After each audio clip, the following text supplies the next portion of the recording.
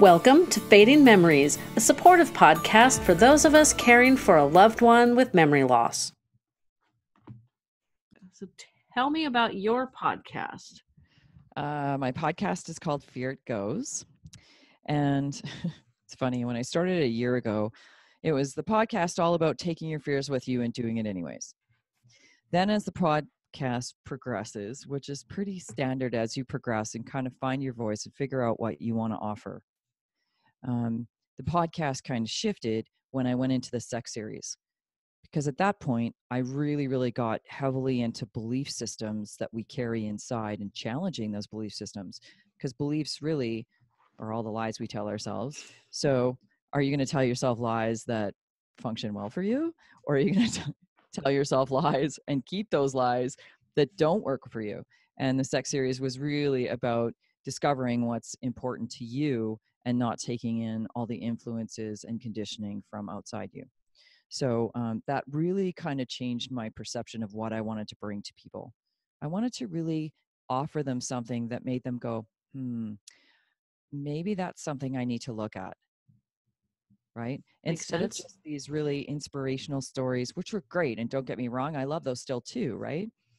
Because we need to know that we can aspire to be bigger, better, more authentic people. Absolutely.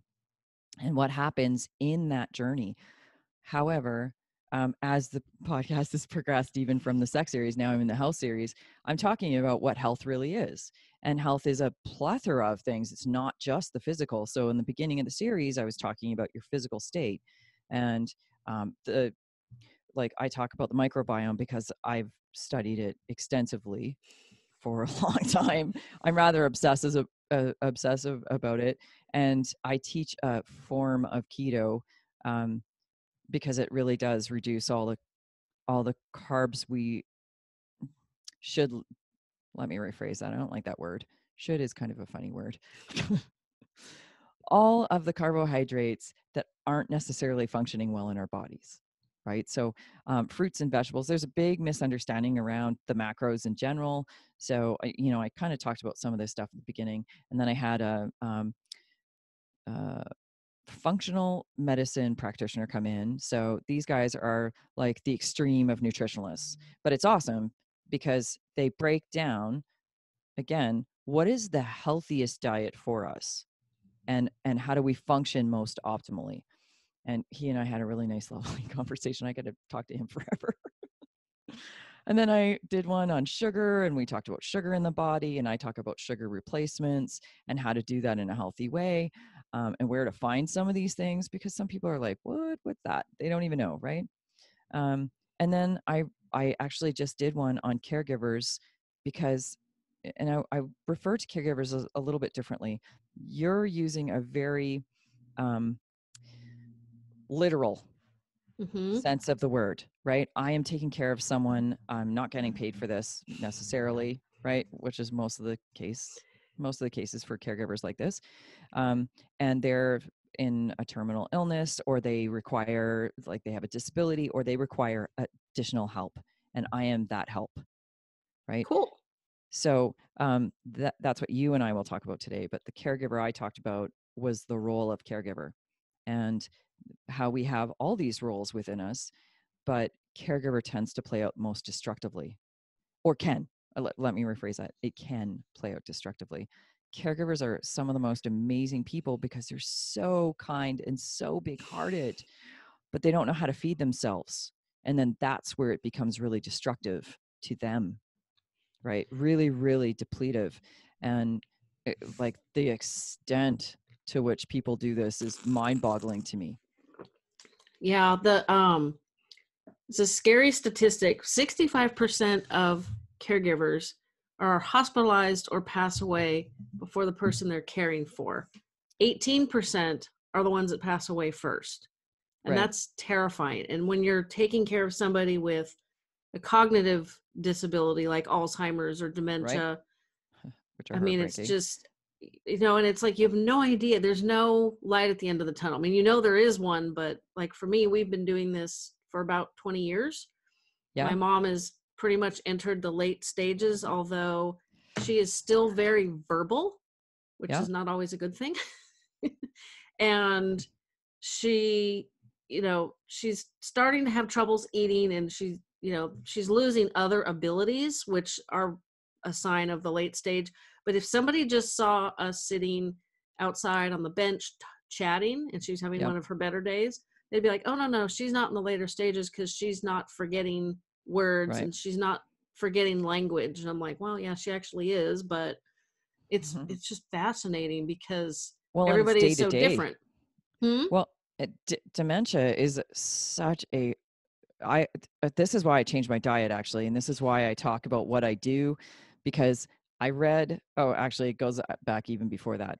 So I was certifying for a designation back when I was in finance and um and we had a guest speaker come in and she was talking about dementia specifically and she was talking about what it's like in hospitals or in the care centers with dementia patients and oh i just got shivers um and honestly it was like heart breaking to hear these stories about these families who literally watch this person fade out in front of them so from the family side which is horrendous and then there's the other side of the person who's actually experiencing it and they are frustrated and angry because they know these are parts of something that was their life and they're just grasping at anything they can remember anything and their life is slowly eroding in front of them and they know it and they can't do a thing about it Yeah, my mom So- has gotten she gets violently combative when you Yep. have to help her.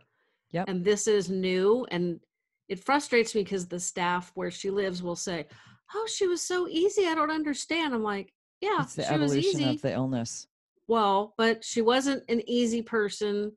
You know, she was very independent, very, you know, this is how it's going to get done. You know, she wasn't like a pushover or, you know, Yeah. a wimp. You know, that's not the kindest term, but she wasn't a pushover. And she was assertive and she, She was could be. and she knew what she wanted and how she Mhm. wanted it done right? Yeah. And Yeah. so, you know, when somebody says we're going to take a shower now, ugh, I mean, she's drawn blood on my husband and she's drawn blood on caregivers. And I tried to trim her nails on Monday and she decided to call me all sorts of names and tell me to drop dead and then proceed to try to scratch the flesh off my hands. And I'm like, Oh. hell no, honey. We're not going there. so it's of been, too. She had control right? All that stuff she was able to control herself and now someone else is saying you have no control over what's going on in your life. I do. Take it. And she's like i don't want that. Yeah, i want to no. control this. Yeah, it's, it's, it's hard. And I, I prefer not to medicate it, you know, right. we're gonna have to add a like another medication because the the Seroquel, which is supposed to help keep them calm, is not working. I mean, obviously, Right. she's scratching and screaming and swearing. It's pretty pretty unpleasant. violent tendencies become more and more predominant as the the disease progresses until they kind of forget everything or get into that stage if they're still around and then sometimes that violence will slowly taper off because they're no longer they're no longer there that way they're no longer remembering that they are forgetting Yeah, that's an interesting. I don't know. I I have fears because she's still very ambulatory. She does have um, arthritis in her hips, and so there there are days when she probably has refused to take her medication. That she has a lot of pain while she's Yeah. walking. and so Mm, she doesn't you know obviously you're not going to take her for a walk when it hurts every two steps right but i have this fear of this woman wandering around muttering like a zombie before she goes and i've i've talked i've read a, a Yeah. i don't know story article about a girl that's exactly what happened to her dad he was like obsessed with zombies as a an adult person and he he was verbal up until the day he died and walking yeah but just not in any normal quote unquote sense of the yeah, it's like oh Yeah. lovely so that one of the things that i know from talking to lots of caregivers and the caregivers in my support group is one of the biggest challenges is taking care of yourself and my Yep. mom is in memory care and it's still there are days when it's like you know monday she was fighting with me tuesday i'm in a workshop with the alzheimer's association and Yep. and they're calling me because mom's being combative and oh maybe she should go to the doctor and it's like oh hell no i'm done with her doctor that's that's another thing i got to spend another thing. time yep finding a new doctor you know, getting her on the palliative care through the hospice company that took care of my dad and getting different high capacity diapers instead of the depends. It's like, I have a life. And this is just from somebody who is whose family member is in a very good memory care residence. So the people Right. who are taking care of their loved ones at home, like I have a past guest friend who's in my support group. She her dad goes to daycare four days a week, and she says, you know, she knows that she needs to start exercising because she's got a lot of pain and and issues associated with aging and stress and and she just can't bring herself to do it and i think part of it is we throw up mental barriers like you know well i got to get in the, i got to go to the gym or i got to get in the car or i got to walk the dog you know it's like if, mm-hmm. if we can yeah, I talk about that. yeah that's i think that's what we planned on talking about today was what can we do you know when we're essentially trapped at home with somebody who's like why are we doing this? I don't understand. Ah, that's my mother. Right. you know she told me the other day i need to go to the bathroom. Okay open the door take her into the to the you know the public bathroom in the memory care. Why am i in here? Because you said you needed to use the bathroom. Oh so i go in here? Uh yes. Yes. here yes and then she's standing on the side of the toilet and she's about to sit sideways which that's not comfortable at all. So i i have to pivot her and get her to shift over about two steps which she wasn't real thrilled with that. She was you could see it in her face like why are you having me do this? Which you know then i get frustrated and it shows on my face and she picks that up. This is this is where it's really easy to trigger them Right. so I said, okay, now I'm like, okay, now now you can go. And she's like, you could tell she I'm like, just take off your pants and go. I'm like, why am I having to I'm like every step of the way I have to explain to her how to use the toilet. because she's kind of regressing in some ways back to childhood, right?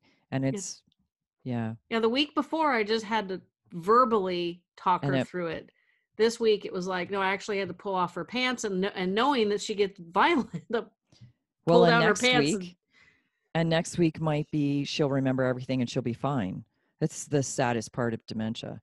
Yeah. Honestly, that to me is the most terrifying disease and the interesting thing around dementia. So there's a lot of research around dementia and they're starting to think that they're like it's diabetes type 3. yeah, I've read that. So um, a lot of dementia is linked and prevention is linked for many, many illnesses through our diet. Mhm. So my question is, uh, like, I have a weird question as you're sitting here talking about um, the care that they give her, and I'm wondering, so are they giving her like omega threes? Does she take like a fair amount of those? Does she take coconut oil? Does she like what fats is she taking in that help feed the brain so that she can function better? Um, I don't know about the fats, but she does have the she gets supplements that I provide.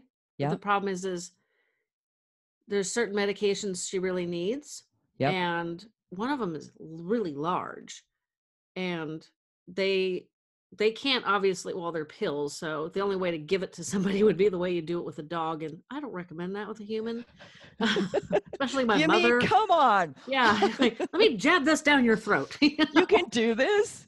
yeah, it's like just I mean I hate doing that with the dog, but occasionally he gets Yeah. ornery and I just I'm like, no, you're taking this and I'm Yeah. gonna win. There's no way in heavens I would do that with my poor mother. it would be very bloody. But she'll she just refuses. They'll put it in her hand and she just hangs on to it. You know, this tight gripped hand, Yeah. fist. And they'll be like, Oh honey, you know, you need to you need to take your medication. And she's like, What medication? And then they gotta like point it out in her hand, which is clenched tight as you know, tight Yeah. fist. And that's one of the issues that we've dealt with lately is, you know, she's refusing to take her medications and Right. you know, they can put them in yogurts and stuff, but like literally one of these pills is at least half an inch long. It's really big. I should sounds see if they kind can of like the omegas I take. They're pretty large. yeah, I've I've got a supplement that's it's like you don't want to take two of them with everything else because they're huge. But you know, I I will I will drink enough water. The other thing with elderly and especially people with cognitive impairment is they don't like I, I have to coax my mom into drinking like half a half a glass of tea or the juice that they provide, which is low sugar. Um, she doesn't really like water. My mom and a lot of regular listeners have heard this. My mom used to drink two liters of Diet Coke every day. Okay. Yeah. So diet means aspartame almost always, and aspartame creates aspartame poisoning poisoning creates lesions in the brain I believe it. and mimics MS. Interesting. So some MS diagnoses have actually been aspartame poisoning. It's fascinating the way that we fed ourselves, not recognizing what we're doing in the big picture, Yeah, poisoning ourselves. That's my poisoning biggest ourselves. my biggest uh, challenge is eliminating the artificial sweeteners. Good girl. I'm working on it, but you okay know. so if if it comes to things like stevia stevia is kind of one of those ones that's weird it's really good because it's natural it's plant i've grown it before um stevia is very sweet on the front really bitter on the back if you have too much so i find i don't like the um, powder for stevia i almost never use that um, but I will use the drops, and you can control it a lot more. So you use a little bit, you test it, you're like, okay, so three drops is right for me, or to sweeten whatever this is, and and then it's just normal. It's just like a nice sweetness. It tastes right, and you're not doing any harm to your body, and it doesn't hit your glycemic index at all. Oh, I have to, of course, I just went to the health food store yesterday, but I'll have to go back because I've tried the powdered stevia in Ugh. tea, and it's. I don't like that either. Well, uh, I you'll you'll that love either. me because I like Splenda in my hot tea, but I like the pink stuff in iced tea, the bad Okay, stuff. Okay, so remember the pink has got aspartame, so watch Yep. that. That's bad. I know. and and there's a whole bunch of those artificial sweeteners that actually do it's funny because we think we're doing something good and it's like non-sugar but really what it's doing is it's tricking the body so the body wants more like it doesn't fa- oh there's so many problems with artificial sweeteners. So when you're doing sweeteners try and go with like natural ones as much as you can. Honey at least has decent properties um, if you're going to go with something like that um, but there's sugar alcohols some of them are better than others and they all act differently but erythritol specific. Okay so um, there's one called xylitol. I've that one's great for one. your teeth. Lots of people know about it for their teeth because there's xylitol candies and gums and things like that. Small doses of xylitol totally great larger doses of xylitol will kind of loosen you up I have had that experience. I used to work next door to a sugar-free candy shop. yeah, xylitol has that effect. So, um, but xylitol blends can be great, and erythritol does not touch. It gets digested in the stomach, not absorbed through different means in the body. So it's it acts very differently in the body. Erythritol does. So you'll see that when it comes to a lot of um, newer sweeteners, um, you'll see erythritol as part of the blend. Erythritol and monk fruit are great. Um, I like erythritol and stevia; those also can work well. And then I also like erythritol and xylitol mix. So if I'm baking or doing stuff like that, it's pretty well almost a one-to-one ratio. It's great. Yeah, well, I find them a little bit sweeter now because I've taken sugar out of my diet, so um, I, I use less. But um, to make the switch is actually not hard at all because they taste so similar and act similar, but they don't act similar in the body. Your body doesn't process them the same way at all. So the glycemic hits are nothing in comparison to sugar. I'll definitely go back tomorrow and find a better alternative because I haven't found a good alternative, which is why I'm still using the bad stuff. But all I drink is water and tea, so I don't I don't drink sodas, I don't drink alcohol. So I feel like okay, this is the one bad thing that I'm doing to my system. Okay, so I have a question too with your mom and electrolytes. So if she doesn't like to drink, right? She's not getting in enough fluids and we need to be hydrated. You can get good hydration through electrolytes. And I'm not talking about I'm not talking about what is that stuff? Gatorade, because Oh, that's yuck, laughable. no. That's complete junk. But there All are just the natural colors of that make me nervous because it's so you know like anything that's bright blue or bright orange. It's like I don't know about that. right. Not a natural looking product there. So if your mom's getting hydrated well, and her electrolyte levels are high or or balanced, uh, she won't require as much water Hmm. or as much intake of those fluids. She'll get some through her food too. So, um, really look at getting electrolytes in. So, what's a natural electrolyte? Coconut water. If she likes that, give it to her.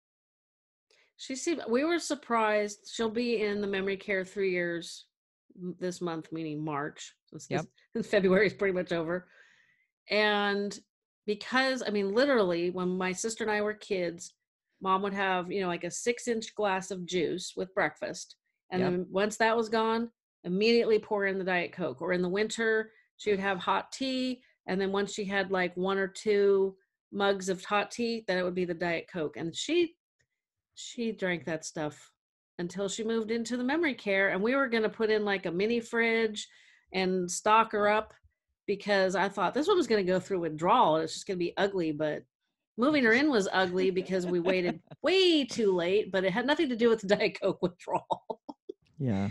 but i think they're all like that they have to coax them into drinking you know four ounces of water you know it's Right. it's like trying to coax a two year old to eat broccoli it's really Um, frustrating I was really but- lucky. Both my kids like broccoli. Oh, oh, my daughter was a much better vegetable eater than me. And so I would try not to let her know that, you know, mom didn't like broccoli or whatever because I didn't want her to be like, "Oh, well, if mom doesn't like it, I'm not going to eat it." Which fortunately she's she's good that way. Um but she likes stuff that's cooked. Like I I've now like I like roasted broccoli. I've I guess I've passed through enough cycles of life that it's like, "Oh, I got, roasted broccoli is okay. I'm getting much better at my veggies, but my dad was a crappy eater. He could have done a fried hamburger patty, mashed potatoes, and peas or corn every night for dinner for the rest of his life. So when my mom tried to add variety or Yep. something healthy, you know, it He was like, just- no. yeah, it was like it wasn't worth the constant argument. So they're, you know, they would eat bologna and white bread and American cheese. Okay, so this is interesting. Talking about him saying no and us digging our heels in about our diet, right? Whatever it is that we like to eat. Okay, so I have a little secret to tell you. This is very interesting about how we function. So we have all these bacteria in our gut, right? Microbiome. And we have trillions in and on us, more than our cells, actually. So we are a very true symbiotic host to these Hmm. things, and we will die before anything else without them. So we need them. Now, these little guys are constantly telling us what they want. So our cravings are linked to which ones are dominant in our gut. So if you're Hmm. craving, okay, so truth be told, before I learned all this stuff, I'm pregnant with my first. I totally eat healthy, right? That's that was pretty normal for me. I, I've always eaten a lot of fruits and vegetables. I've always had a pretty decent diet, or so I thought. Um, so first one, eat pretty healthy. I don't crave anything crazy. It's just a good, healthy pregnancy, eating wise. Second one, I'm not kidding. It was so hard to not eat cinnamon buns, to not eat Oh, baked food, to not like all I craved was this. but- sugar. Well, and processed, like white processed foods, right? So processed wheat, well, really mostly processed wheat and sugar. So, um, fascinating part of that though is that I didn't realize this, but my gut biome had shifted from pregnancy one to two. So, depending on which bacterial strains are dominant, will depend on what you crave. They signal to you, feed me, I want to stay here right? So I'm the big one. I'm the big group at the party. I want to stay here. So you're going to give me what I want. So I'm going to tell you what to feed me. So all I wanted to do was feed this this group of bacteria, the you know, this group of strains that were dominant now in my system because something had gone awry, whatever it was, I don't know, because I, you don't normally have big shifts in a microbiome unless okay things like um, i take antibiotics because antibiotics will wipe them out um, or i have some uh, digestive trauma and that will change it too so anyways it's interesting because your cravings have everything to do with what you're being told to eat. Well, it's funny. When I was pregnant, you know, especially in the early stages when you're queasy a lot, yeah. my body wanted nice, greasy cheeseburgers. And greasy cheeseburgers made me feel better. The day that I had, well, I know raspberries was part of my breakfast. Not a good choice.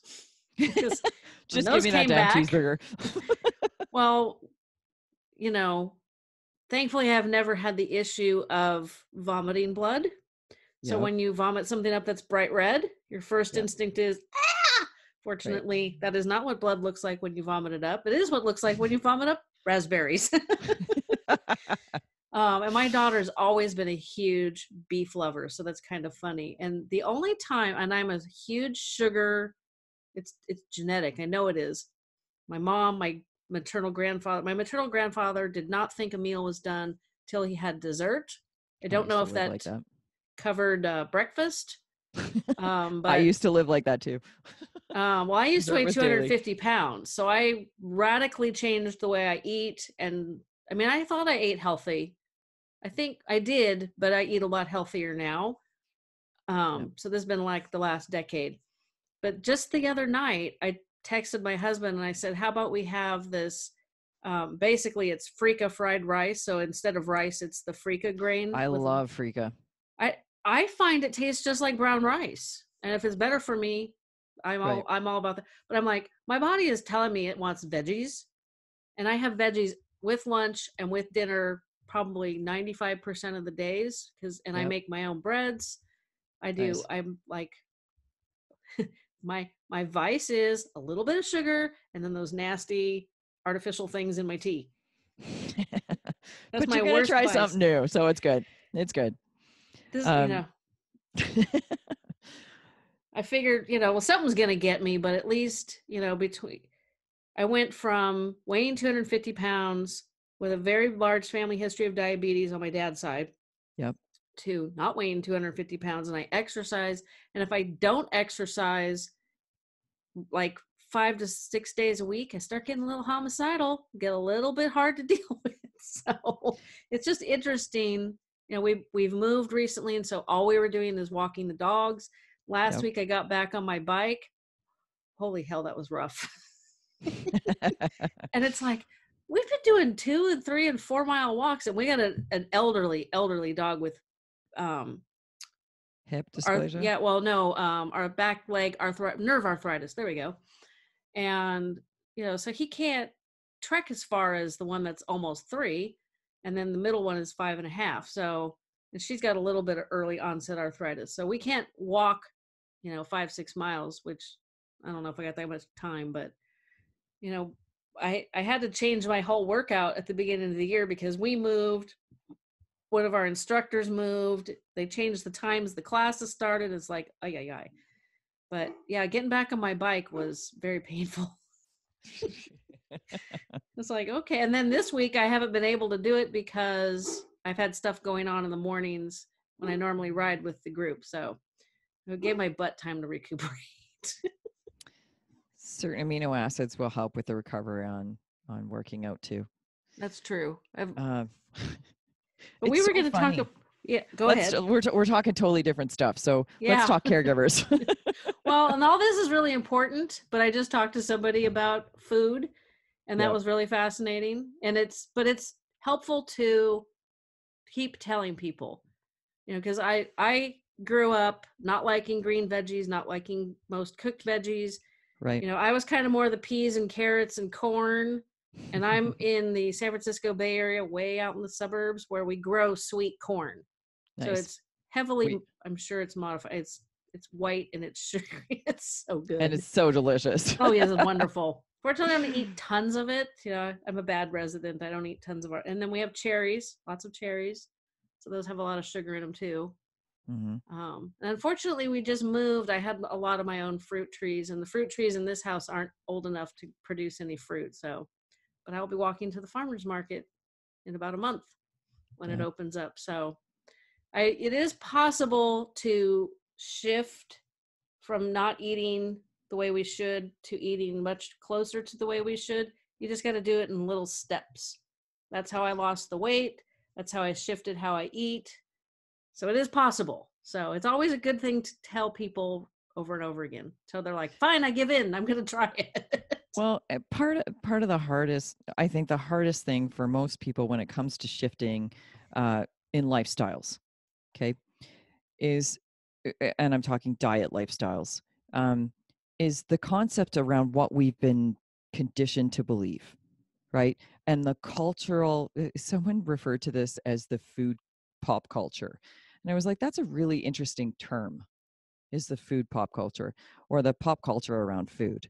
and what we believe is healthy and then what we discover is healthy. Like I'm writing an article right now about fats and omega 3s and 6s specific and what they do in the body and why it's so important to get more omega 3s because the North American diet is producing with a typical like typical everyday eats we have about a 25 to 1 ratio in normal eating and it should be a four to one ratio. So four four omega sixes to one omega three. And honestly, if you can get more to the one to two or one to three ratio, you're like laughing.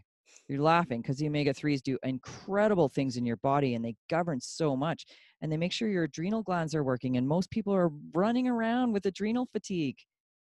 I believe that. And well, this gal that thyroid issues.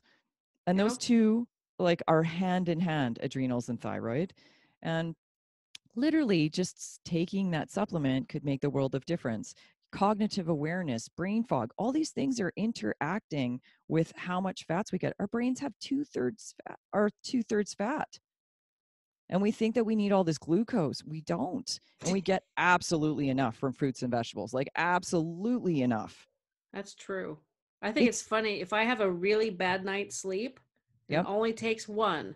I will wake up and my body's like, yo, how about a donut? Let's go get some pastries. Come on. I don't eat that. I mean, yeah. we moved, like I said, you know, a couple months ago. And obviously, you get donuts and coffee for the people that are helping you. Well, all of us are older. None of us need donuts. So I got donut holes. And then I got, I think, four regular donuts because there's only one flavor of the holes. And I cut them up into thirds or quarters. And I think I had one whole and one quarter of the donut the whole day.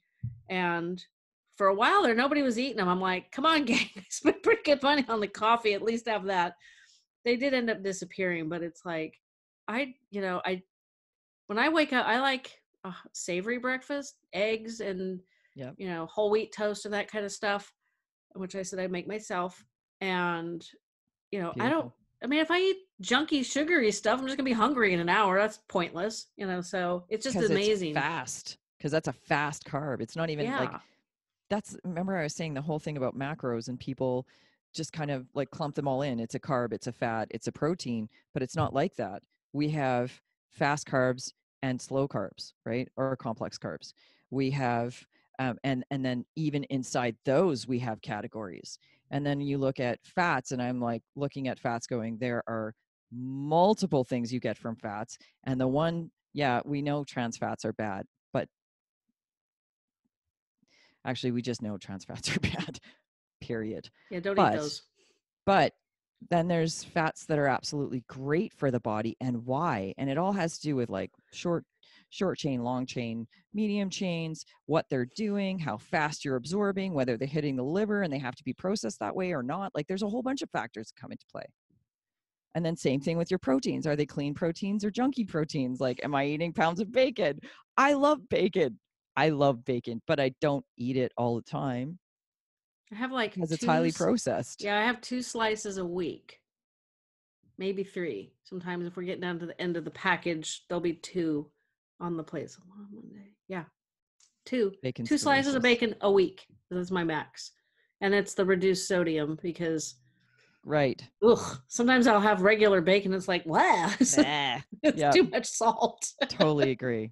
Totally agree. Then, and when I eat too something that's too salty, then my brain's like, we need to balance that. So please go lick the sugar bowl. I don't. salts are important in our body to some extent. We absolutely need some. That's true. And I just learned from this other gal that I talked to that, and I just read an article on it too. It's like, so salt is obviously on the brain, is um like kosher salt is super, super highly processed and we should just skip it. And then the salt that comes in the blue round container is highly processed. Probably shouldn't have that one either. So you want a salt. Small amounts of that one aren't so bad though because it's ionized or sorry, not ionized. It's um it's i it's got iodine in it. Right. And iodine supports your thyroid. So Okay, we so- do need some, just small amounts I'm pretty for good. That not- type of salt. Well, then this one, um, they're talking about like more natural salts, like the Himalayan salts Himalayan. that actually have the minerals in them. I'm like, okay. Right. Oh, and there's so many yummy like gray salts are delicious. Um, I've got a lava salt here, a Hawaiian Mm. lava salt. It's delicious. Um, Ooh. so yeah, We're going and- to Hawaii in June. I'm going to get me some of that. Oh, it's so good. It's so good. And the Himalayan salts are beautiful too. Like there's great salts out there that absolutely have way more nutritional value because you're getting your your so we just talked about macros, fats, proteins and carbs, but then there's your micros and those are all your minerals hmm and your vitamins and you need these things to function normal. So things I know- like I know there's a big thing on, you know, do we really need to take, you know, vit- supplements essentially? some yes, Um, some no. I I take well, I take one for it's called menopause combo. Okay. Works great.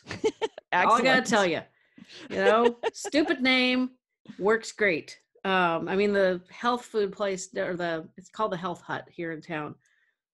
I went in five years ago, five six years ago, and I said, I'm like tired all the time, and this, and they're like, you need this, and it's a money back guarantee. I mean, it was like I didn't even have to finish telling them what the issues were. Of course, it is run by women, so that helped.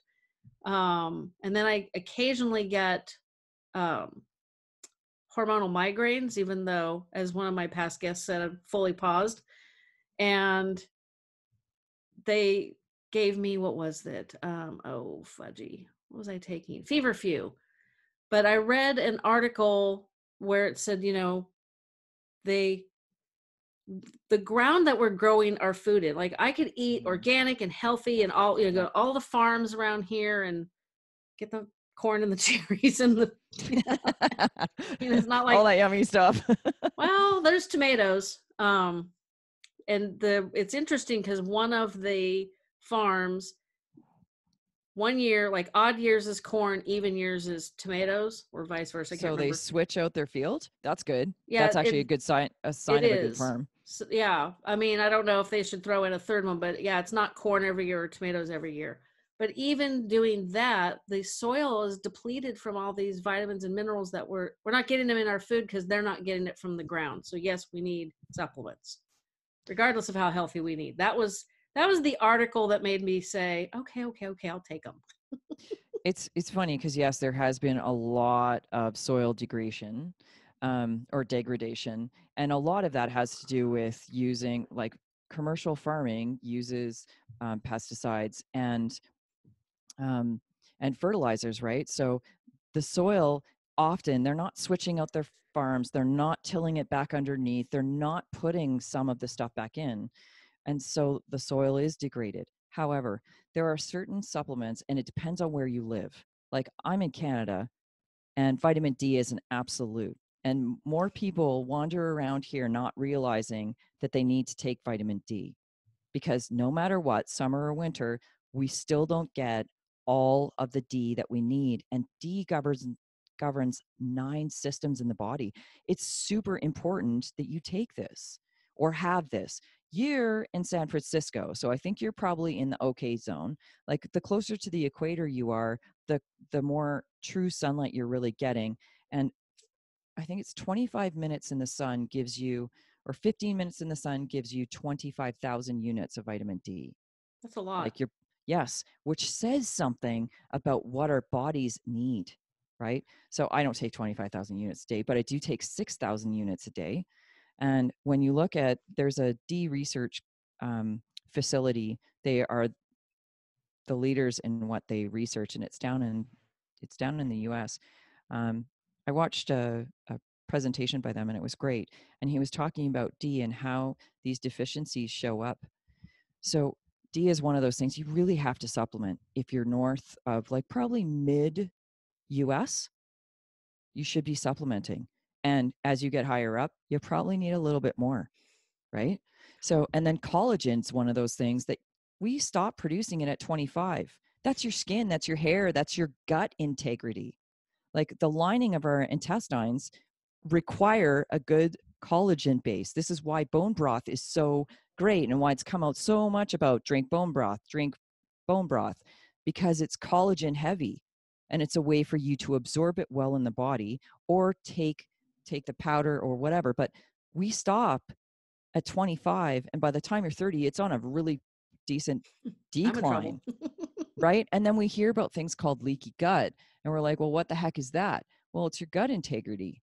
You need to you need to reinforce your intestines and you you will be able to absorb your vitamins better and your minerals better and all the things that your food is actually giving you. So can you imagine even if your food was jam packed with everything you needed and your gut couldn't absorb it you're just passing it anyways. That makes sense well it's So- interesting about vitamin d it two things when i get my mom i like to take her outside for walks which i said now that's getting a little more complicated but um like i said i'm in california and we're about to have another drought because it's supposed to be like in the mid upper 70s today in wow. and yeah. you guys are for february Yeah. yeah. it's we may end up with a cold damp march um i'm not going to bet on that one you know climate change and everything. Usually we have a drought every like four years four or five years. We had let's see 2017 it was 16 17 was pouring. A couple years ago it was pouring so it's it's all different. But when i my mom is outside in the sunshine you Mhm. know and it could be indirect because you know for those people who aren't watching the youtube video i am very blonde and very pale and burn like i don't tan right. Um the only way to tan i learned years ago when i started my weight loss journey was um i could if i go out and lay out in the very early morning sun when the uv rays are really low Yep. then i might tan but it takes you know it's like slow building of beige. I'm not ever going to be bronzy and that's fine. I'll just stick to pale. It's you know it's better for me anyway. But my mom seems to have like just a little bit more cognitive awareness just it's like she's just like a little bit more on. She's like a little happier a little you know she's just a little better which is not really the best description. And then years ago i read that you know we're so so hypersensitive about sunburn and skin cancer and all that you know you see the parents just slathering their children with sunscreen that we're not absorbing the sunlight from you know when we're outside. Now when i go cycling i look at the uv um, index and i i will go out now in the summer i usually will ride 15 20 minutes and then add sunscreen. Right now while i'm wearing long sleeves so it's pointless to put on sunscreen but it's like even though i burn really easily i i can i've learned how to gauge how much sunlight i i can deal with and then i put on sunscreen so i don't get burnt and it's like going outside and riding my bike even though it hurt mm-hmm. last week. Was you know good it's though. just and it's and we're socializing so that it's hitting all of the important things and but it's time consuming and i know i'm blessed because if my mom lived with me that would not be anything i would do. Going to the gym would be a challenge. Okay, so actually let's talk about some things that caregivers can do in in situations like that where they're at home and they don't have a lot of time and ways that they can give self-care to themselves. So you just talked about biking, right? And we're Mhm. talking about we've talked a lot around food and supplements and things like that cuz caring for your body so I talk about the biome a lot and I've studied the biome a lot because I discovered how linked it is with the mind. mm-hmm. So our ability to be able to take stresses and manage those or be okay with those instead of having to manage them and you know and and just always being on edge or irritable or frustrated or overwhelmed has a lot to do with our diet. It's surprising what these little guys do for us. And i'm not kidding when i say this anxiety depression um, like that constant stress has a lot to do with what we do in our body. So we experience stress through a few ways. One of them is through food. Hmm. it and it can be one of our major stressors on a regular basis. And then we have our environmental stresses and then we have our mental stresses whatever we're thinking right? Think think think think think. So um, it's really important to kind of just be aware of what you're doing. So i talk about food a lot but i mean i'm a mindset expert and i'm a hypnotherapist and i've done a lot of things that can help people but I, I seriously, I think this is the first and foremost way to help people the best because your thinking will change with what you're eating. Because all of a sudden, I'm producing these great neurotransmitters that allow me to manage stress instead of being freaked out. So now I'm not thinking from the same space. I can take it, I can manage it better. But let's talk on the other side. Okay, so I'm a caregiver and I'm in a space where I have very little time and I need to do things for myself. And honestly, bubble baths are nice. baths actually are really interesting because water is very conducive to emotional release. So, showers and baths are actually an excellent place to kind of release emotions. Hmm. Um, it's very interesting about water, but but when it comes to self care, this is us filling ourselves back up with things that light us up inside. And caregivers are notorious for doing everything for other people that light them up or help them at the cost of dampening themselves. So, you caregivers out there, all you beautiful people, such big hearts, love you. there are a few things you can do to help really quickly change states for yourself. So, when you get into these moments where things feel anxious, or you're feeling stressed out and overwhelmed, breath work works really great. So you can do a breath that will take you from your parasympathetic nervous system back into your sympathetic nervous system, which changes your state of mind, changes your state of body, changes your heart rate, and allows you to be a lot more creative and problem solving, solution finding. And honestly, that's where we thrive, right? Mhm. So it takes us out out of our um, our back brain or primitive brain or protective mind, whatever you want to call it, and moves us back into our frontal cortex. So breath work. And we do this like this. I'm going to actually give you this. You're going to take a breath, and I'm going to teach you a few a few things with this. So bear with me.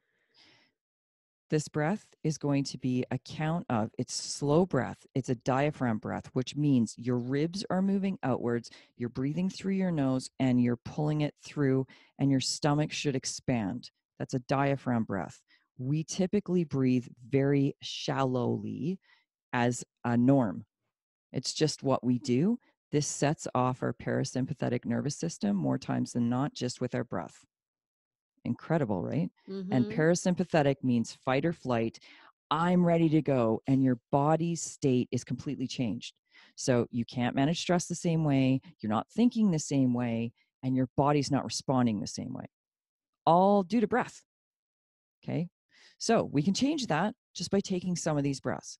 So if we take this deep diaphragm breath, slow, slow, slow, and we breathe in for a count of five, hold it at the top for th- two to three seconds, and then breathe out for a count of five, hold it at the bottom for two to three seconds, and you do this for a minute, two minutes, you're going to notice a massive difference in the way that your body feels, in the way that you feel, in the way that you're thinking.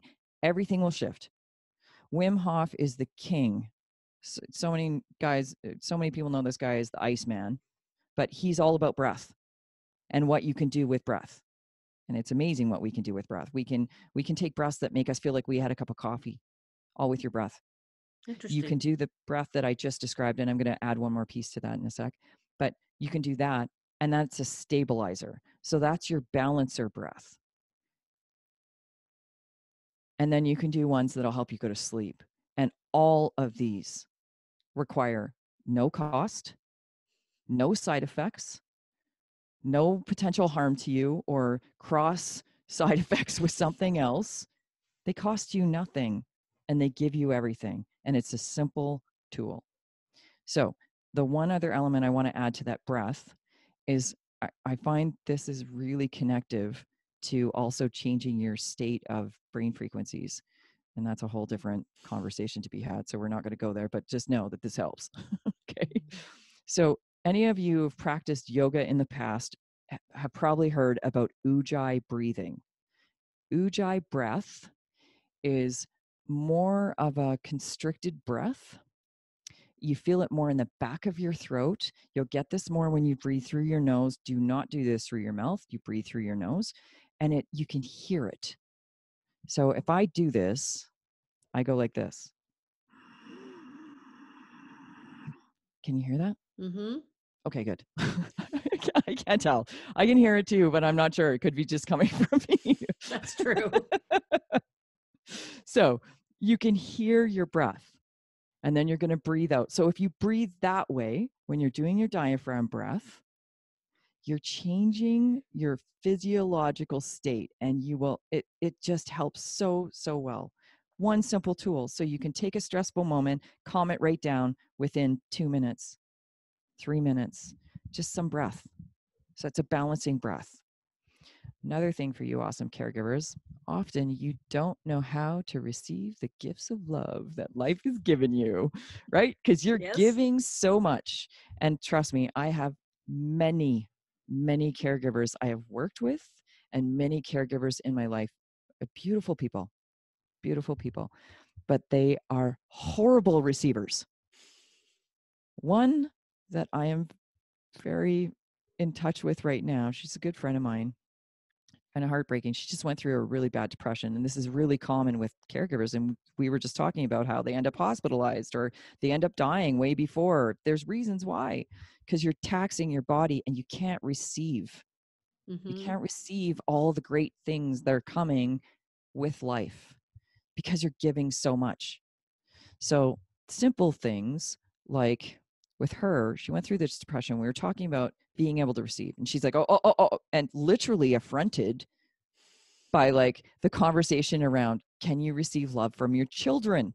She, because she loves her kids, but she can't receive it even from her kids. And she recognizes this. This is amazing. She's actually at this point now, but she's like, oh, oh, oh, like, and I said, okay, let's try this.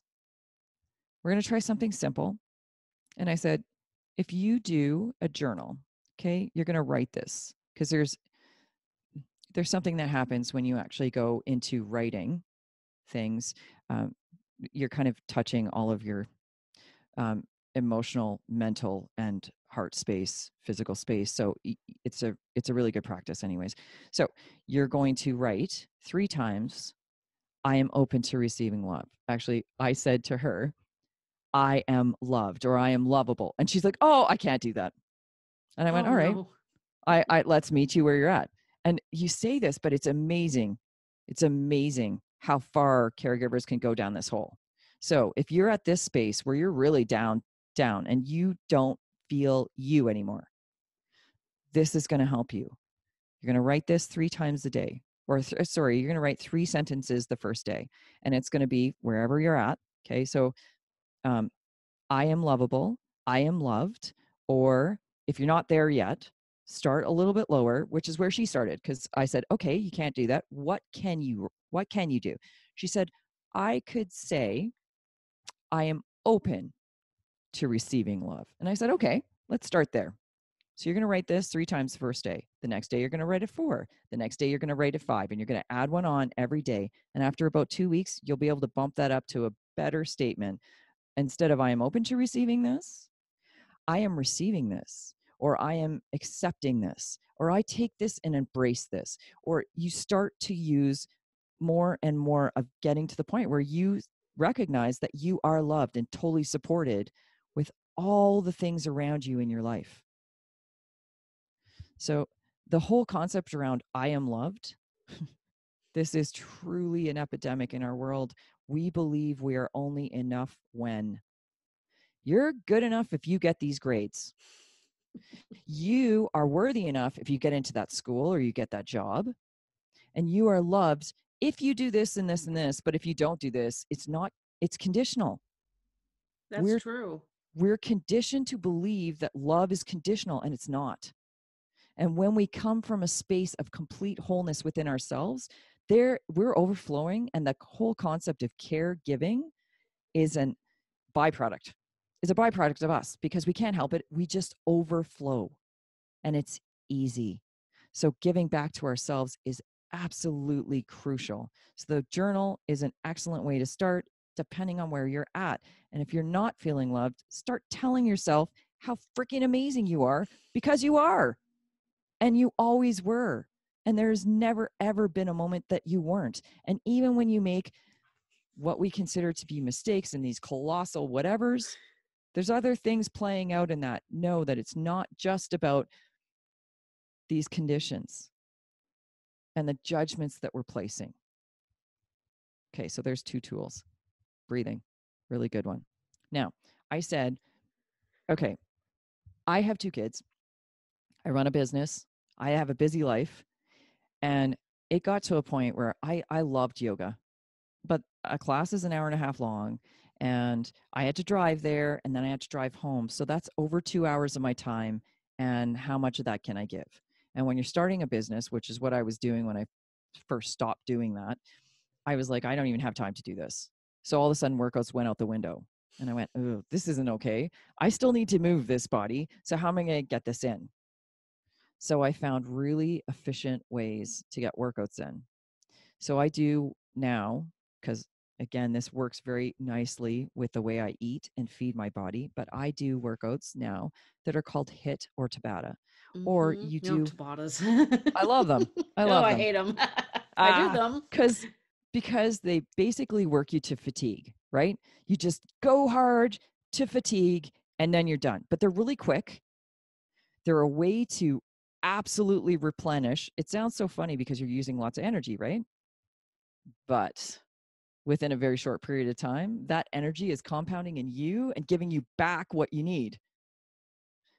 Those workouts will help you like no one's business and you can start it easier and there's always modifications always modifications when you're starting something new and I, i'm talking to a friend of mine whose daughter is a personal trainer and i love her. Love this family.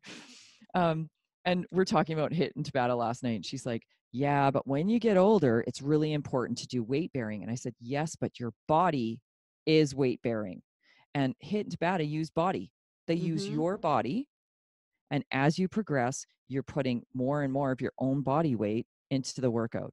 And trust me, that is enough weight bearing on your bones and joints and muscles to build, to stay active, to stay healthy, and to move the energy around your body.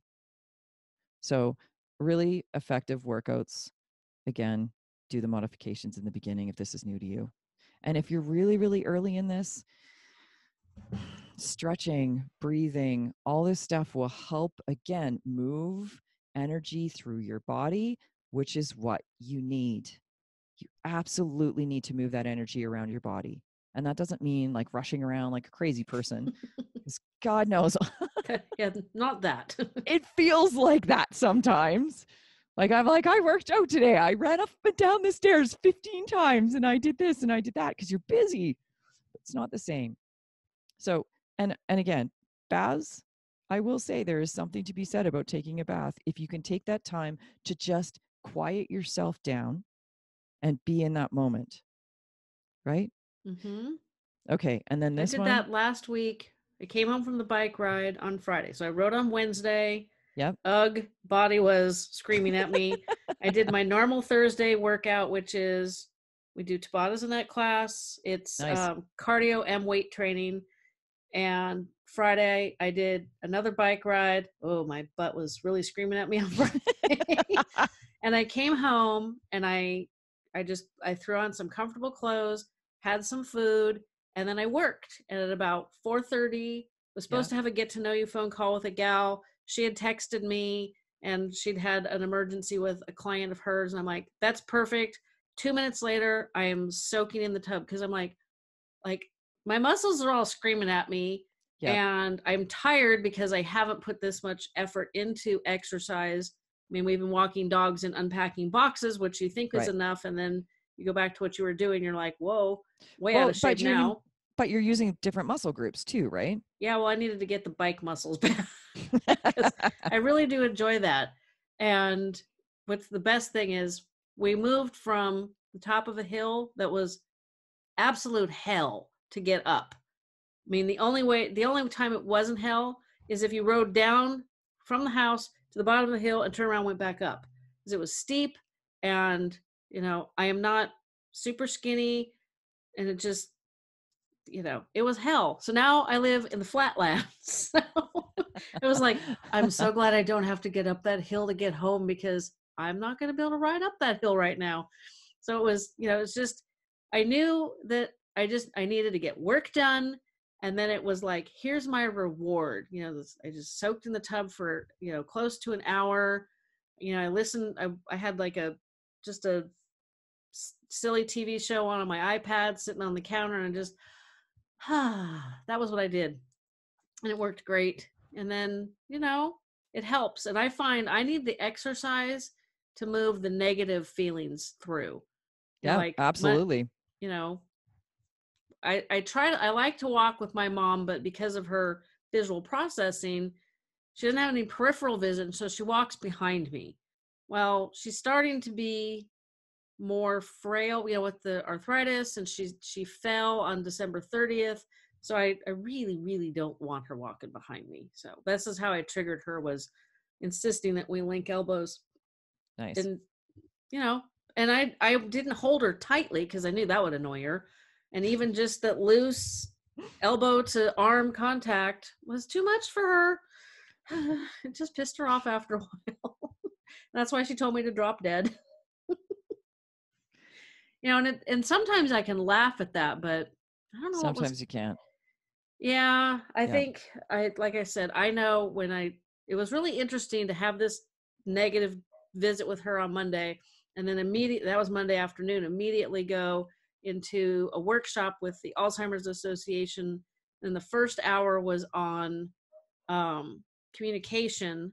And it was like, oh yeah, there's all the things I did wrong. and and I knew when I was learning. yeah, but it, it's like, and this is what I tell people. Here's my challenge. It's like, you know, I'm not visiting her so that she can trail, you know, 20 feet behind me. That's, you know, that's not why I'm there. Yes, the walk is good for both of us. Um, but a lot of the traditional communication techniques, they don't work with her. Right. Like we have to be really different is the Yeah. is my challenge. So I'm I'm learning and it's it's not fun. it's good for my brain to to keep processing all these situations. And of course, as soon as I think I have it dialed in, then she changes and it's like, ugh, it's so much fun. But you know, I'm trying to keep her safe and do things that give her pleasure, you know, go to the park and watch children, which people laugh at because we're like creepy old ladies. We go to the park and we like to go to the pool and watch the little children too. that just sounds funny. Oh, it is. It's you know, and I have to be careful who I say that to because some people will then look at me like, "You're gonna do what?" Yeah. and I had one person say, "Well, at least it's you, you know, you and your mom, and not two guys." Right. I'm like, "Well, yeah, but you know, I've had one instance where this lady had a school age child and a baby in a in a stroller."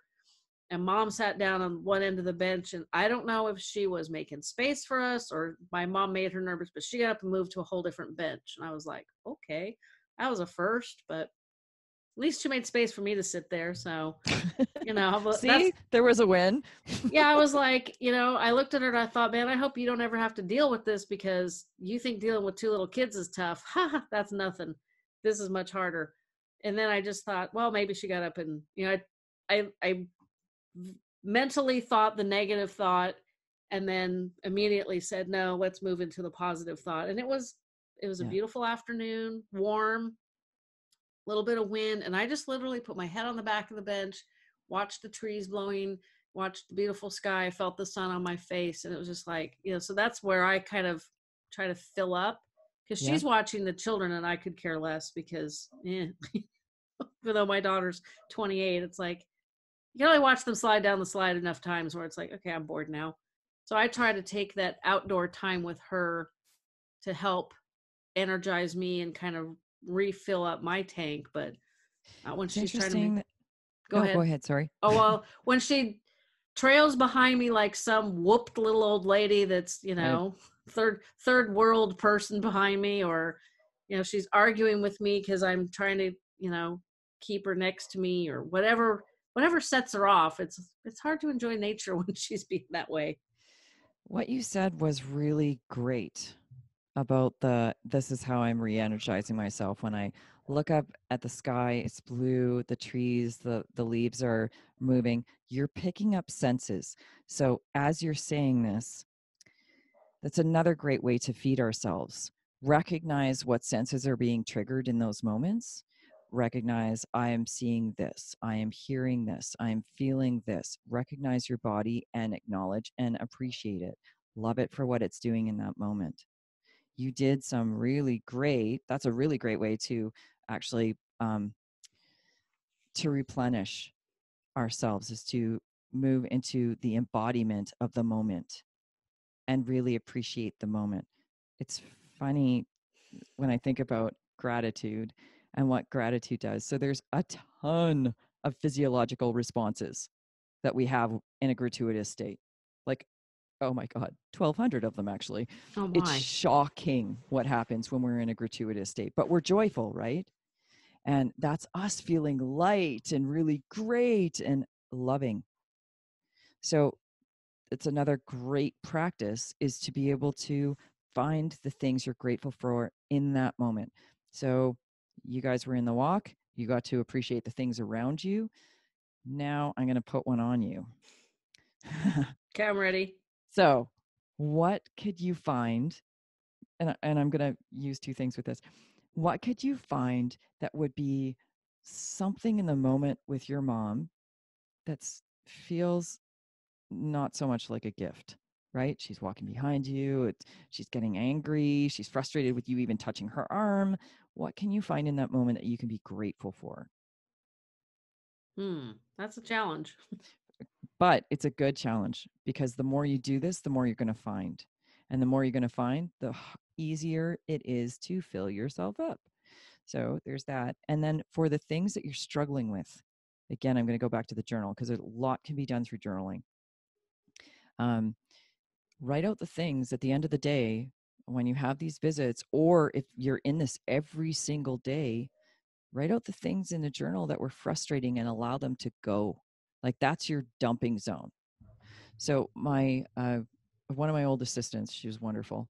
She was also an EMT, and she saw Mm. some horrific things, and they experienced some serious traumas themselves. They are very much like caregivers from that respect, that they experience a lot of burnout because their it.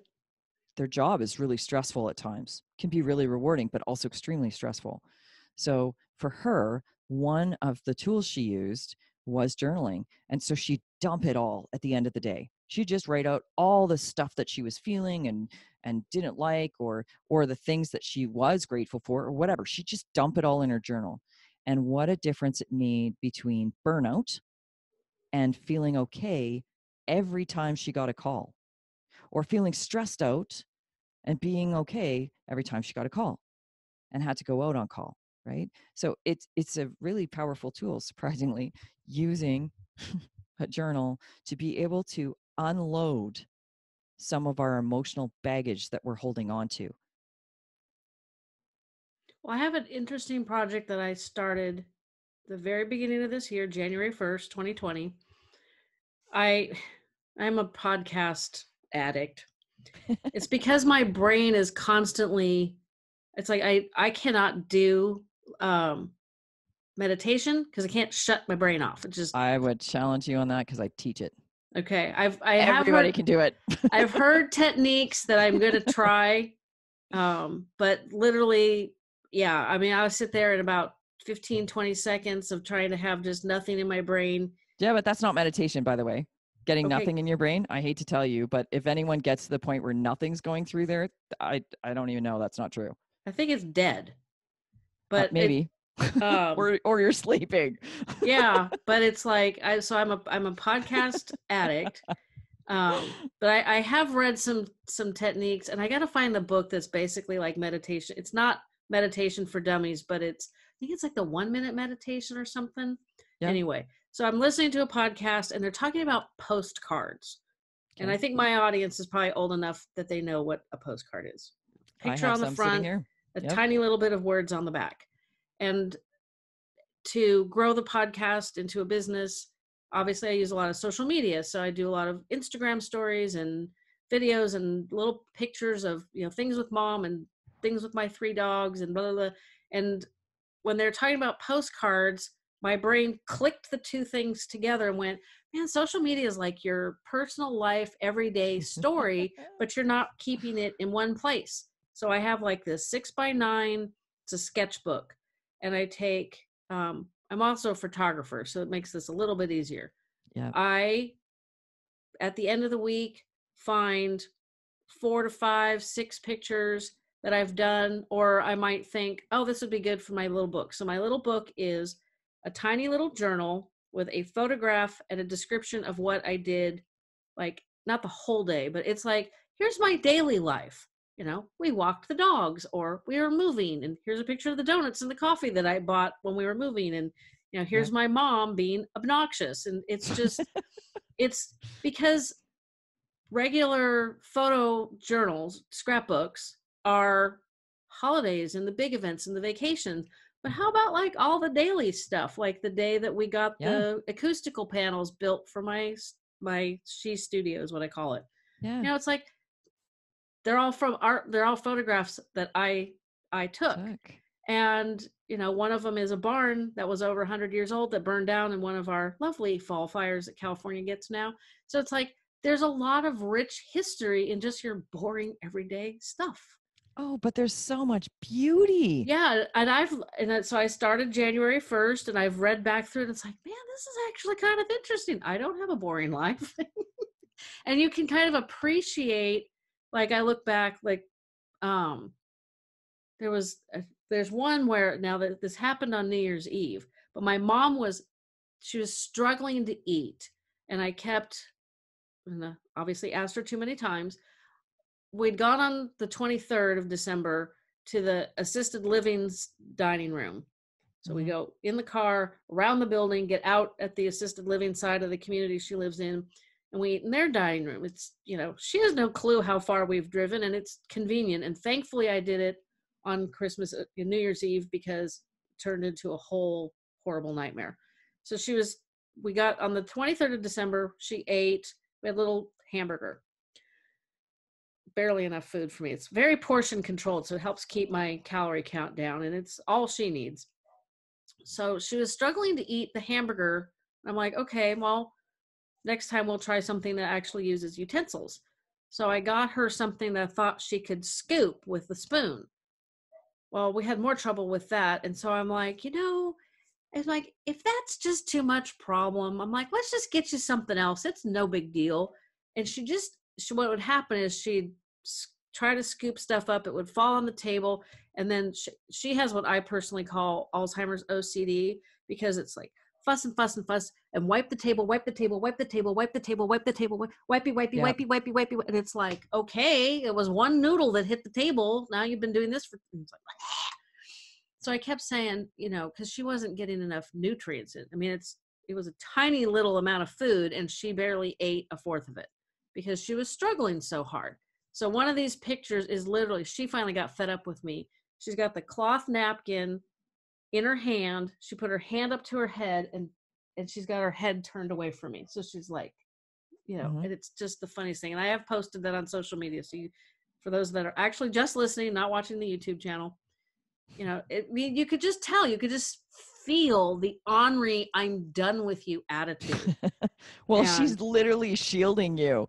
Yeah. With, with She's this like- napkin in her hand. yeah i am Yeah, done I'm with done. you yeah it Yep. was it was all bad and then it got actually got worse from there because i think I I think she said well i'm ready to go back to my room okay and so i i tried to help her you know get up out of the chair not help help but kind of like offer help Yep.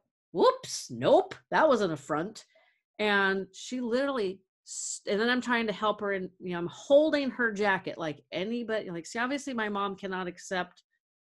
You know, she cannot accept She's- being she's not loved. receiving. She's not receiving any of this stuff. It's Yeah. very annoying. Um, so I'm holding her jacket so that she can put it on. And I have learned the technique where you put your arm through the sleeve and you say, "Give me your hand," and then you just pull Yep. their arm through the sleeve. Not pull it hard, but Yep. makes it so much easier than trying to like shove. You know, this works with little kids too. Yes, it does. And she's fighting me, and I'm like, "Fine." I just like basically dumped the jacket, the rest of it over her shoulders. I'm like, "Okay, okay." And she stomps off in a huff, and this poor gal that she's got to be in her 80s. She's the activities director at the assisted living side. She comes over and she says, she belong over there in memory care? And I'm like, Yes, we're going back. Well, do you want me to get somebody over there to help you? Like, no, because she's already pissed off. She's not going to want somebody helping, which Right. maybe other people might have been okay. I don't know. This poor old lady had to help my mother into my car because my mother would not deal with me. It was all ugly. But I have that picture of her with the napkin up by her face. Yep. And, you know, I wrote out the story and I know, you know, it's only been two months. Yeah. And I already look at back at it differently, but I read through the book the other day and it's like, you know, there's a lot of like um just rich details in your daily life. Like we just moved in and I'm making bread in my new kitchen. We've been here four days. I'm making bread. Yay. You know, it's like and it smells good. oh God. yeah. Yeah. that is the challenge when you work at home. You throw something in the slow cooker or the bread in the bread maker, and it's like then you're just like, why am I hungry? Oh, because I've been smelling this food I'm for smelling hours. this, yeah. so it's it. I think journaling is really it could be helpful, and I'm going to try writing that down. But I I had a good experience this morning. Yeah. I was photographing. Um, well, I went from the house we had had a studio attached, so now I have to go back to doing it on location, which is Mhm. reviving those skills, which is good for your brain, but it's kind of a pain in the butt. This is a past client. I've known her for a zillion years. She knows my grandmother, who's almost 102. And she asked me how much, and I, I told her, and she goes, "Oh, that's a really good deal." And which at that point, I'm like, "Ugh, should have given her the new price. And so I said, "Oh well." I said, you know, you've been such a good long time client. I'm giving you the old price. And she goes, "Ah, what's the new price? You're so worth it. I'm like, oh, okay. And I, I said, totally Good. up to you. I, and I told her the new price, only $30 difference, not a huge deal. And she goes, you're so worth it. And I said, thank you. You know, it's like, right. I, you know, when we try to downplay Oh, a yes. compliment it's really not i find it like when you accept a compliment like hear it smile say thank you Thank now you. have made your day better and their day better Okay. So it's so funny that you say that because I'm thinking about what you said about your video journaling, and I'm like, that lights you up. That's a way we replenish, right? The things that light us up, the things that make us happy. Some people it's dancing, some people it's singing, some people it's some people it's reading, whatever it is, whatever lights you up, do it. Do it and do more of it, even if you do it in small little increments. But what you just said about thank you. So, my friend that is struggling, right, that I said, do this journal. Thank you was one of them. Because, okay, so when we're not receiving well, it's one of the first things, it's one of the first things we do. Oh, thank, someone says, oh, your hair looks really great. Oh, it looks terrible. I had this done and, uh, you know, uh, I slept on it. It's sticking up. Whatever stupid stuff we say, right? Or oh, you, you did you lose some weight? You look great in that dress. Oh, I got this on sale. We just brush it off. We brush it off. We're not accepting it all. So in those moments, just shut up. shut up. Just say thank you, and don't say anything else. Just say thank you. It's the beginning of learning to receive. It's the beginning.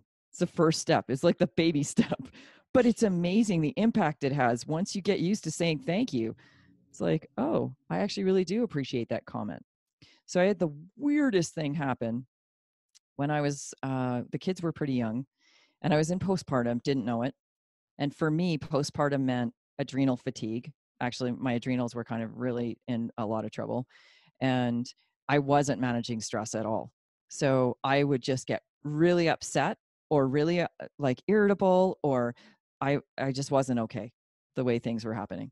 So I'm dropping the kids off at a birthday party and literally just out of the vehicle and I'm coming around the other side and I'm mad. And I'm about to drop them off at a party, right? Should be happy getting rid of them. I should be happy, right? And I love my kids. I love my boys. They're amazing little people. We went through some interesting times when they were young.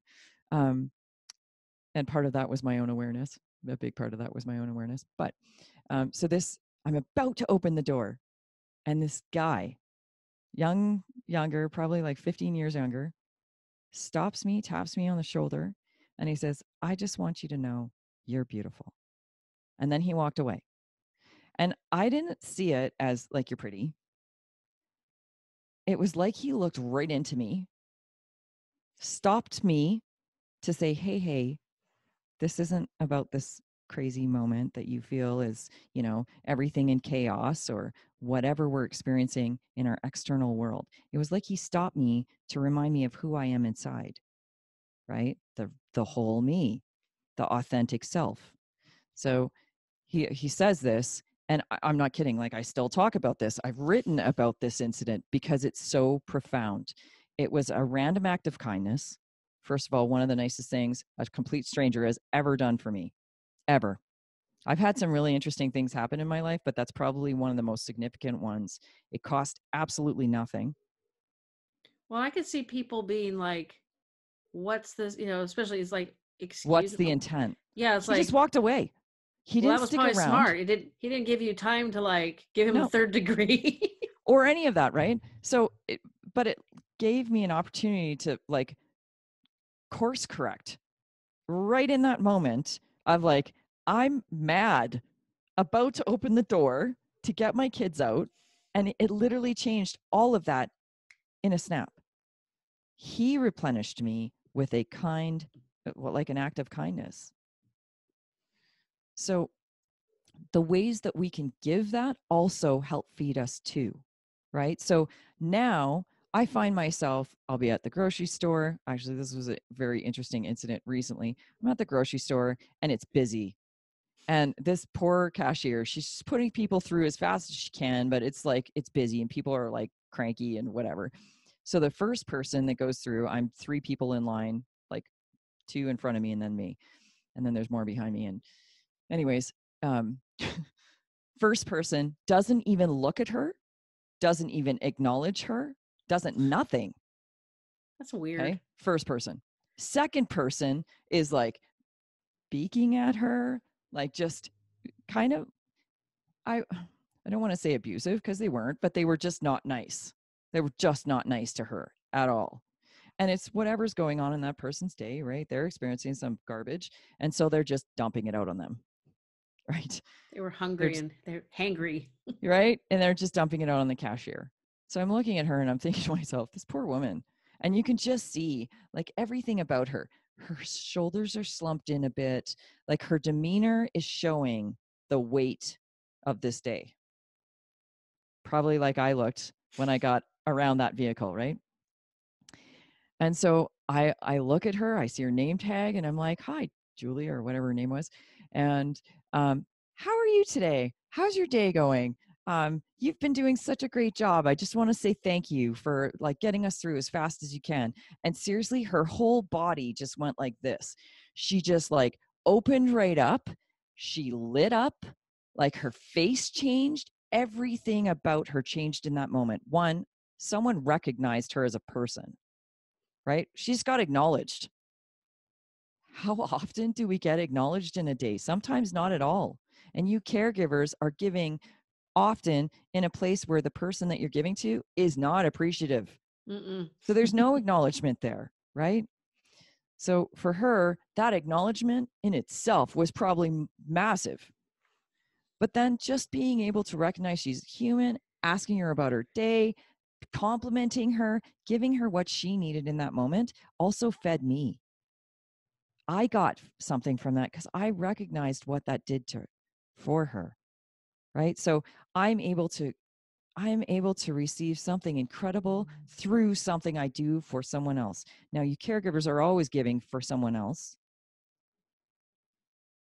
but recognize when you can do this in a way that actually replenishes you too, right? Simple little things like saying, Hi, how's your day to the person in the line in front of you? Or um, or being able to receive those moments when someone says weird things to you on the street, like hi, or makes eye contact with you, and you're like, oh God, I can't look at that. it's like, what's wrong with them? Who are you and what's wrong with you? Right? People are trying to connect with you. It's okay to make eye contact.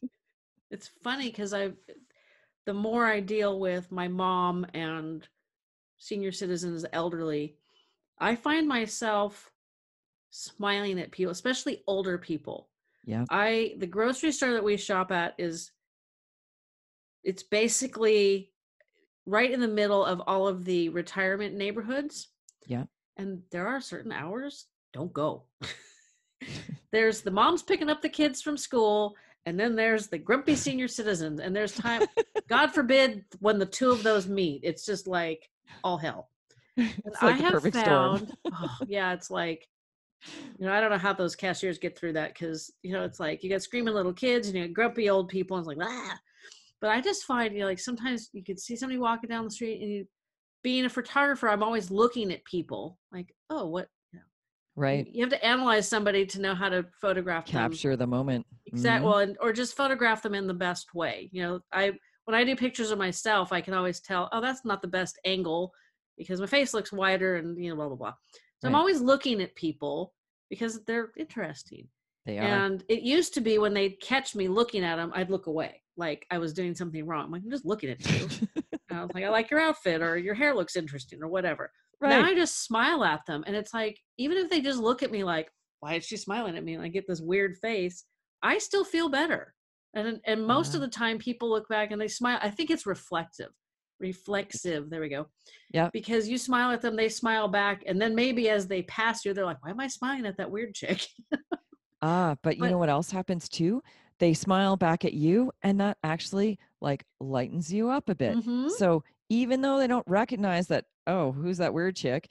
For that second, for that moment, for that just brief moment, you did something that helped them raise them up. It's Yeah, it's just awesome. Yeah, it's just a Just a little. smile. I'm gonna have to take my mom to places where more people are, because then it'll be maybe there'll be more people to smile at. It'll be easier to deal with her. That might be a might be a thought. Hmm. It's just yeah, it's it's interesting because being unappreciated and not being treated like an adult, I think, is one Yeah. of the problems with people like my mom. And it's not that they don't treat them like an adult; they do, but when you have no idea how to shower yourself, somebody has to do it for you a couple times a week. Or if you need somebody to help you dress, you know, obviously that's what you have to do with little children, not with somebody who's 77 or 87. Right. And so I'm going to think on those things and see if there's a way of shifting my mom's attitude towards receiving help in a positive way. It's something interesting too as you're talking about this. Again, I just I can't help but see both sides. So I can recognize the absolute frustration because there it feels like they don't appreciate you and you you you're giving. It's hard when someone gives to you and you don't receive it. Sorry, when someone is giving something and the gift is not received hmm right? That's hard on the person that is giving the gift. It is because they think something's wrong with them. There's nothing wrong with you. Well, it's You're being interesting. the beautiful human being you are. Thank you. It's interesting because I used to, you know, my mom's been in the memory care for three years, and I'd be like, now I I do go on a Monday afternoon, but I would hear, oh yeah, so and so's family, they're hardly ever here. I'm like, this is your mother. Like, this sucks. I'm not gonna lie. I don't want to come here every week, but I do. You know, my husband, like on Monday, was like, if she's being physically abusive, why are you going every week? And I'm like, right now, I don't have that answer other than she's my mother and that's what I should be doing. You know, like duty. I'm Right. like, that's not that's not really a positive answer. So let me get back to you on that one, which I still haven't really come that up with. sense of responsibility, though, right? yeah, I mean, you know, you pay very good money for these places, but she's still family. I don't know. It, that's a really tough question to answer. But when I was growing up, we were talking about you know conditional love i never felt like anything i ever did was good enough. You you could get a b plus on a test why didn't you get an a? You know you're taking four classes in college and, and getting a b plus average why aren't you doing five? Or you're you're doing the, you know it's, it's just i could i could have you know swam the fastest race in the swim team and it still wasn't an you know, it's like that's just how my parents were and i don't know why A lot of parents And- are like that though. yeah and i i see it it's actually a struggle i have with my husband because i'll do things and it'll be like why do i feel like whatever i do for you is not enough? And it's like that's a theme in my life. So when i visit my mom and i'm giving and i'm doing things for her and it's like lady one you didn't visit your mother once a week much less you didn't go once a month. So i try to remind myself that i am doing phenomenally better than she did.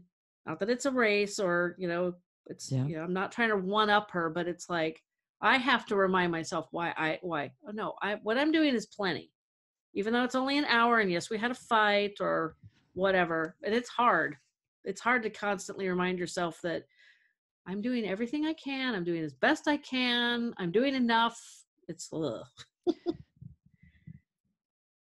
Okay, so ask yourself. Hmm. It's interesting because it isn't it isn't just about you being enough. And and growing up believing that we're not enough. And if that's a theme in your life, that's something that needs to be recti- rectified. Like that sense of feeling like we're not enough is because okay, so I talk about original meanings. I did this in actually today's podcast that went out today. I talked about forgiveness today and forgiveness from a state that actually really does lighten you because forgiveness is just as much about us as it is about the person or the experience we've had. So i come from a family of serious trauma when i was kid and it was really difficult to forgive some of the things that went down and to forgive the people. So when you start to do forgiveness work um, you realize that it's them and their original moments that are now playing out as adults. So I talk about the original meaning or the original moment. It's us in our childhood when we're placing meaning on our whole world around us. We have no conception of what this is, right? It's just this big foreign, and we're so rudimentary at that point with our own cognitive skill sets. Like we have none we're developing them. That's the meanings, right? So you look at me, you smile, I know that this is good. Now I have a meaning. You look at me, you look frustrated, now I have a meaning. Your facial expressions, the way that your body moves, all of these actions and verbal um, verbal triggers, all of these contribute to my meanings. And then they perpetuate throughout my life. So if that meaning, the original one, was that I'm not enough, it's going to keep playing out until I resolve it. And a lot of caregivers take from this space. So caregivers usually find that others are dependent on them and they draw from that. They Mhm. draw a fill from that. They feel like they're good enough through that. I'm helping you. You need this. Therefore, I am good enough. Sweetheart, you are always good enough. It's funny because as adults, we think, okay, well, you know, I was, I did all these things. I was good. I was, we can rationalize as, as adults, right? So Mhm. I have this experience of my, let's say my parents both worked, which this generation will experience this. My kids will experience this, but um, both both parents are working and maybe working a lot.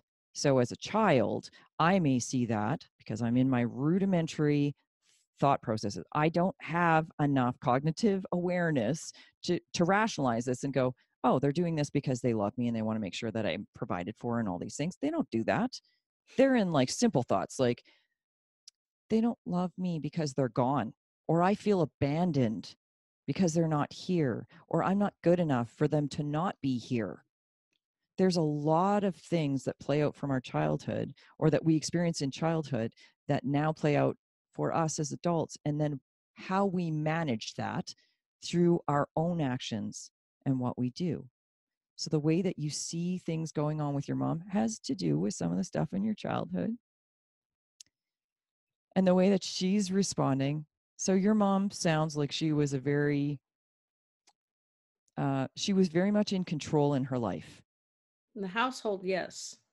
Right. She was a, she was a stay at home mom, which is not what we called them back in the seventies, but right. She she was just a mom back then. Right. Right. housewife was the term they used back then, which I know, oof, that almost that's so such a Oh, God, negative so term brutal. nowadays. It's I know it's terrible. right because it discredits a lot of what happens in the home and the responsibilities inside a home and raising a family. There's a lot like there are many hats and jobs that a parent takes that stays home with kids. But so your mom was very much in control of her life. Uh, she is very much- she- my dad was in control because he had control of the finances, right. But she learned how to essentially manipulate that and control. You know, there's a lot of control freaks in my family. Well, it's normal because people are looking for power that they feel they need to seek out. So she felt she had that control. And now she's in a position where no matter what she's doing, she's not in control. You have to hold my arm. I'm not in control. You have to tell me how to go to the bathroom. I'm not in control. You, you, uh, you want me to take these medications? I'm not in control. I don't get to make that choice. So for her, everything is frustrating. I could, I can totally understand that. I can totally understand that. That would honestly, because it's disempowering. She's in a moment, well, in a stage, not even a moment. She's in a stage now that's disempowered. And for you guys, you're just giving. And your your intentions are so amazing and you're so wonderful, but she doesn't see it that way. Nope. She has no power. She has no power. She's in disempowerment. So it doesn't matter what you do. Like at all. There's some things because she's very hostessy. She will ask other residents in the memory care, or Yeah. she'll tell them, "Now, if there's anything you need, you just let me know." Which, when I hear, I have to laugh internally because, like, really, what are you going to do to help them? You know, because her, you know, her Right. cognitive she wants ability to. she does. She wants to. So we are at the point where because she moved in in March three years ago, and this is March essentially. I you know they reassess them every year, and I've tried to figure out if this is a good idea. And this conversation has made me decide, yeah, it is. I think I'm gonna have the ask the director of the memory care, have the staff give her little helpful things to do, like yes. can you put the napkins on the table? If the Yep. napkins don't end up on the table, nobody's going to get hurt. We just more napkins. They're cloth, Yeah. so you know, might there might have to be a few more, you know, a few extras. Which I find some of those cloth napkins folded up in her dresser drawers, and it's like, oh, it's like we're in the bathroom. It's like, oh Lord, I don't even want to know about that one. Um, you know, and just that's the only one I can think of. But it's like if I'm if I talk to them about giving her purpose, some power somehow. Yeah, empowerment is maybe a better Yeah. term. Maybe that'll dial back some of the violent combativeness. because then she feels somewhat in control. And then, so think too, when you're with her, what's something simple that you can do that lets her feel like she's giving to you or that she's in control of the situation, right? So, Mhm. um, same thing happens with kids, which sometimes I'm good with and sometimes I'm not. But giving them only a couple options, but where they feel like they're the ones deciding and making the choice and they have the power instead of saying you this you do that. I'm telling you you have to go you, you know you have to set the table or you have to do whatever right? Instead of doing that give them some options so that they feel the power. They feel empowered in that moment.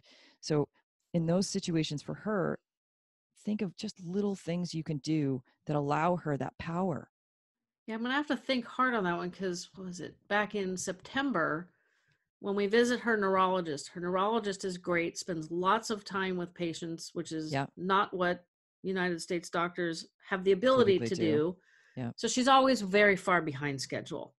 And I never know exactly how long it will take to maneuver my mom from whatever she's doing in the residence in out the door into the car across the Yep. parking lot up you know it's like could take 20 minutes could take an hour um thankfully it doesn't take an hour but it's you know, you don't want to be late to the doctor, even though she's an hour behind schedule. So when I got there, I said, she doesn't wait patiently. I know the doctor's always behind schedule. You tell me when sh- when should I come back? We're checking in now. Yep. I'm going to take my mom across the, the parking lot to get something to drink.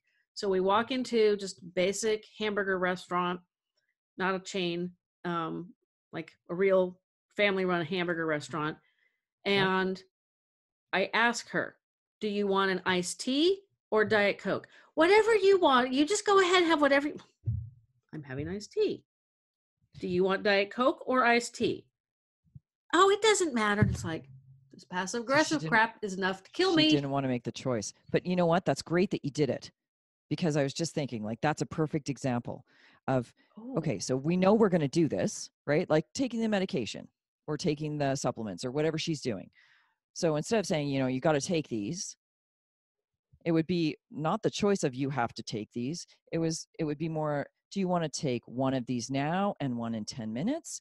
Do you want to, because she still has to take them, right? mhm. So you're setting it up, you're still getting what needs to be done or what needs, needs, you need to get across but you're giving her some options so that she feels she controls that decision.